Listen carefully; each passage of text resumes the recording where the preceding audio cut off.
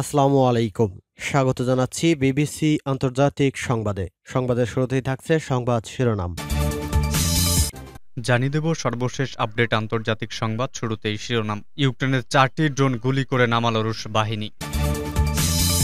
রাশিয়ার সাথে সামরিক সম্পর্ক বাড়াতে প্রস্তুত ইরান। এদিকে জি টোয়েন্টি সম্মেলন ঘিরে দিল্লিতে করা নিরাপত্তা। জাতিসংঘ জানালো ইসরায়েল বাহিনীর হাতে সর্বোচ্চ ফিলিস্তিনি নিহত এ বছরই। এদিকে রাশিয়ার হুঁশিয়ারি, ইউক্রেন যুদ্ধের তীব্রতা বাড়াবে সিক্সটিন। সর্বশেষ জানিয়ে দেব, উত্তর ভারতের হিমাচল প্রদেশে বাড়ছে মৃত্যু, কমছে না প্রাকৃতিক বিপর্যয়, আশঙ্কা বাড়ছে রাজধানীকে ঘিরেও। এতক্ষণ শুনছিলেন সংবাদ শিরোনাম, এবারে বিস্তারিত। আজকের সংবাদ সম্পর্কে আপনার মূল্যবান মতামত কমেন্ট করে জানিয়ে দিন। জানিয়ে দিন কোন স্থান থেকে আমাদের সংবাদ শুনছেন এবং দেখছেন। ইউক্রেনের চারটি ড্রোন গুলি করে নামালো রুশ বাহিনী।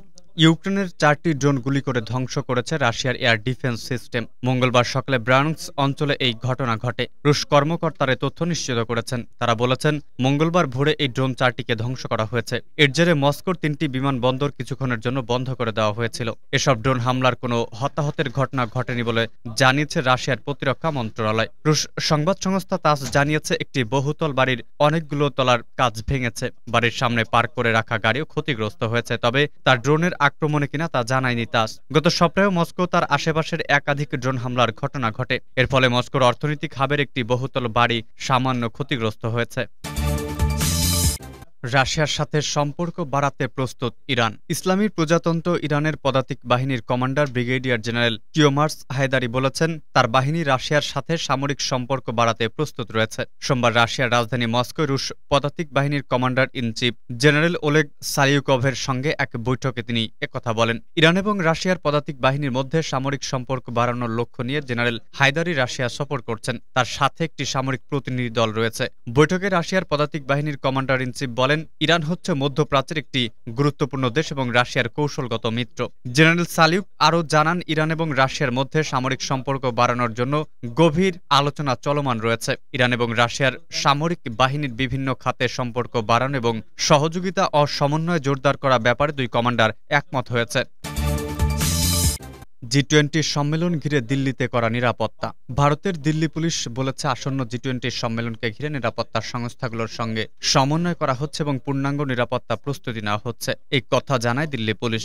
আগামী মাসে ভারতের সভাপতিতে জি টোয়েন্টি সম্মেলন অনুষ্ঠিত হওয়ার কথা রয়েছে। দিল্লি পুলিশ জানায়, পুলিশ সদস্যদের ব্যক্তিগত দক্ষতার উপরও কাজ করছে বাহিনী। তাদেরকে সম্মেলন চলাকালীন মোতায়েন করা হবে। দিল্লি পুলিশের মুখপাত্র সুমন নালুয়া বলেছেন, সম্মেলনে নিরাপত্তা দিতে গত কয়েক মাস ধরে দিল্লি পুলিশ কাজ করছে। তিনি বলেন জি টোয়েন্টি সম্মেলনকে সামনে রেখে কয়েক মাস ব্যাপী কাজ করছে দিল্লি পুলিশ। এ নিয়ে প্রাথমিক পরিকল্পনা শুরু হয়েছে অনেক আগে এবং এখন সম্মেলনের এক মাসেরও কম সময় আগে তার শেষ পর্যায়ে আছে। আমরা প্রস্তুত আছি এবং অন্যান্য নিরাপত্তা সংস্থার সঙ্গে সমন্বয় করছি। নালুয়া বলেন, পুলিশের যেসব সদস্য মোতায়েন করা হবে, আমরা তাদের প্রশিক্ষণে জোর দিয়েছিলাম। প্রথমত তাদেরকে বুদ্ধিবৃত্তিক দক্ষতার উপর প্রশিক্ষণ দেওয়া হয়েছে যেন তারা সংবাদ মাধ্যম বা ভ্রমণকারীদের সঙ্গে মর্যাদাপূর্ণ যোগাযোগ করতে পারে। ভিন্ন সংস্কৃতি থেকে আসা মানুষের সঙ্গে কীভাবে যোগাযোগ করতে হবে তা তাদের মনে রাখা উচিত। তাদের নির্দিষ্ট কর্তব্য সম্পর্কে প্রশিক্ষণ দেওয়া হয়েছে বলে পুলিশের এই কর্মকর্তা জানান। তিনি বলেন, আমাদের কমান্ডো বাহিনী প্রস্তুত। বিমানবন্দর গাড়ি বহর অতিথিদের থাকার জায়গা, সম্মেলনস্থল বা তারা যেখানে ভ্রমণ করবেন সব জায়গায় পর্যাপ্ত নিরাপত্তা ব্যবস্থা নেওয়া হয়েছে। প্রশিক্ষিত ট্রাফিক আইন শৃঙ্খলায় নিয়োজিত আর্ম ব্যাটালিয়ন, স্পেশাল সেল ইত্যাদি দিল্লি পুলিশের বিভিন্ন ইউনিট অন্যান্য সংস্থার সঙ্গে কাজ করছে। পুলিশের মতে, দিল্লি পুলিশের উনিশ জন নারী কমান্ডো মার্কস ওমেন হিসেবে প্রশিক্ষণ নিয়েছেন। তারা মধ্যপ্রদেশের Indo Tibbat border police force থেকে এক মাসের প্রশিক্ষণ নিয়েছেন। প্রসঙ্গত, আগামী নয়, দশ সেপ্টেম্বর দুই দিনব্যাপী ভারত মণ্ডপম কনভেনশন সেন্টার এবং অন্যান্য গুরুত্বপূর্ণ স্থানে জি টোয়েন্টি শীর্ষ সম্মেলনটি অনুষ্ঠিত হবে। ইসরায়েল বাহিনীর হাতে সর্বোচ্চ ফিলিস্তিনি নিহত এবছরই জানালো জাতিসংঘ। চলতি বছর ফিলিস্তিন ও ইসরায়েলের মধ্যে চলা দ্বন্দ্বে চলতি বছর সর্বোচ্চ পর্যন্ত দুশো জন ফিলিস্তিনি নিহত হয়েছেন। অন্যদিকে ইসরায়েলের নিহত হয়েছে তিরিশ জন, যা গত আঠারো বছরের মধ্যে সব সংখ্যাকে ছাড়িয়ে গেছে। বছরের হিসেবের তুলনায় যা দুই হাজার পাঁচ সালের পর সর্বোচ্চ। সোমবার মধ্যপ্রাচ্যে কাজ করা জাতিসংঘের দূত এ তথ্য জানিয়েছেন। টর ওয়েনেসল্যান্ড জাতিসংঘের নিরাপত্তা পরিষদকে জানায় ভবিষ্যতে ফিলিস্তিন ও ইসরায়েলের মধ্যে সংঘাত আরও বাড়বে কারণ ফিলিস্তিনিরা একটি স্বাধীন রাষ্ট্র গঠনে মরিয়া। এজন্য ক্রমাগতভাবে তাদের মূল্য দিতে হচ্ছে। ওয়েনেসল্যান্ড বলেন, পরিস্থিতি স্বাভাবিক করতে যদিও ইসরায়েল এবং ফিলিস্তিনি আলাদাভাবে কিছু পদক্ষেপ নিয়েছে, কিন্তু এতে কোনো কাজ হবে না, কারণ তারা ঐক্যবদ্ধভাবে কোনো পদক্ষেপ নিতে পারেনি। শান্তির পথে বড় বাধা হিসেবে উল্লেখ করেছেন, অবৈধভাবে ইহুদিদের বসতি সম্প্রসারণ করা যা আন্তর্জাতিক আইনের লঙ্ঘন। এছাড়া ফিলিস্তিনিদের বসতি উস্তাদ এবং পশ্চিম তীরে ফিলিস্তিনি প্রশাসন ও পুলিশের নিয়ন্ত্রণে থাকা অঞ্চলে ক্রমাগত হামলা চালাচ্ছে ইসরায়েলি বাহিনী। একই সঙ্গে আছে ফিলিস্তিনের সশস্ত্র বাহিনী ওয়েনেসল্যান্ড বলেন, বর্তমানে ফিলিস্তিনি কর্তৃপক্ষ ভয়াবহ অর্থনৈতিক সংকটের মধ্য দিয়ে যাচ্ছে। এছাড়া অর্থ সংকটের কারণে জাতিসংঘের শরণার্থী বিষয়ক সংস্থাও পর্যাপ্ত আর্থিক সহযোগিতা দিতে পারছে না।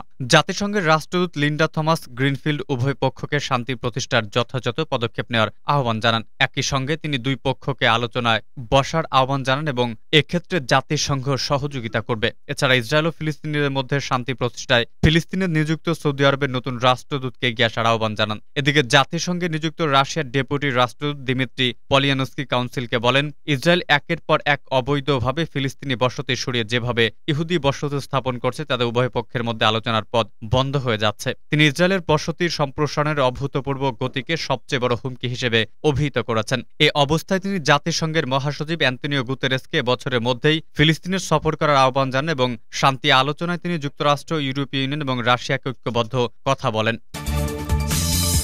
রাশিয়ার হুঁশিয়ারি ইউক্রেন যুদ্ধের তীব্রতা বাড়াবে এফ সিক্সটিন নেদারল্যান্ডস ও ডেনমার্কের পক্ষ থেকে ইউক্রেনকে মার্কিন এফ সিক্সটিন যুদ্ধ বিমান সরবরাহের ঘোষণার তীব্র নিন্দা জানিয়েছে রাশিয়া। সোমবার মস্কো হুঁশিয়ারি জানিয়ে বলেছে, এই সিদ্ধান্ত ইউক্রেনের চলমান যুদ্ধের তীব্রতা বাড়াবে। রোববার ডেনমার্ক ও নেদারল্যান্ডসের ঘোষণা দিয়েছে, তারা ইউক্রেনকে এই যুদ্ধ বিমান সরবরাহ করবে। আগামী বছরের শুরুতে প্রথম ধাপে ছটি যুদ্ধ বিমান দেওয়া হবে। এই ঘোষণার নিন্দা জানিয়ে ডেনমার্কে নিযুক্ত রাশিয়ার রাষ্ট্রদূত ভ্লাদিমির বার্বিন বলেছেন, ডেনমার্ক এখন ইউক্রেন ইউক্রেনকে উনিশটি এফ সিক্সটিন বিমান দেওয়ার যে সিদ্ধান্ত নিয়েছে, তার সংঘাত বৃদ্ধি করবে। তিনি আরও বলেছেন, ইউক্রেনকে শান্তির জন্য শর্তগুলো নির্ধারণ করতে হবে, এমনকি একটি ভিত্তির আড়ালে লুকিয়ে ডেনমার্ক, রাশিয়ার সঙ্গে সামরিক সংঘর্ষ চালিয়ে যাওয়া ছাড়া অন্য কোনো উপায় রাখেনি। ডেনমার্কের প্রতিরক্ষামন্ত্রী জ্যাকব এলেম্যান জেনসেন দাবি করেছেন, এফ সিক্সটিন ইউক্রেন শুধু নিজের ভূখণ্ডে ব্যবহার করবে। তিনি বলেন, আমরা যে শর্তে ইউক্রেনকে অস্ত্র সরবরাহ করছি, তা হলো এগুলো শুধু তাদের ভূখণ্ড থেকে শত্রুদের বিতাড়িত করতে ব্যবহৃত হবে। এর এর চেয়ে বেশি কিছু নয় এগুলোই হলো শর্ত। যুদ্ধ বিমানের ক্ষেত্রে এই শর্ত প্রযোজ্য। ডেনমার্ক মোট উনিশটি যুদ্ধ বিমান সরবরাহ করবে। নেদারল্যান্ডসের কাছ থেকে সব মিলে বিয়াল্লিশটি এফ সিক্সটিন রয়েছে। এগুলো ইউক্রেনকে দেওয়া হবে কিনা তা এখনও সিদ্ধান্ত হয়নি। ইউক্রেনের প্রেসিডেন্ট ভলোদিমির জেলেন্সকি মিত্র দেশগুলোর কাছে অনেক দিন ধরে অত্যাধুনিক এফ সিক্সটিন যুদ্ধ বিমান চেয়ে আসছিলেন, কিন্তু নানা দিক বিবেচনায় বিষয়টি এড়িয়ে আসছিল মিত্ররা। ইউক্রেনের মস্কোর বিরুদ্ধে প্রতীকিত পাল্টা আক্রমণ শুরু হলে বিষয়টি আরও জোরালো হয়। রোববার নেদারল্যান্ডসের আইন্দো হোভেন বিমান ঘাঁটি সফরে ডাচ প্রধান প্রধানমন্ত্রী মার্ক রুটের সঙ্গে সাক্ষাৎ করেছেন জেলেন্সকি। তিনি বলেছেন এফ সিক্সটিন সরবরাহ আমাদের জন্য ঐতিহাসিক, শক্তিশালী, অনুপ্রেরণামূলক সিদ্ধান্ত।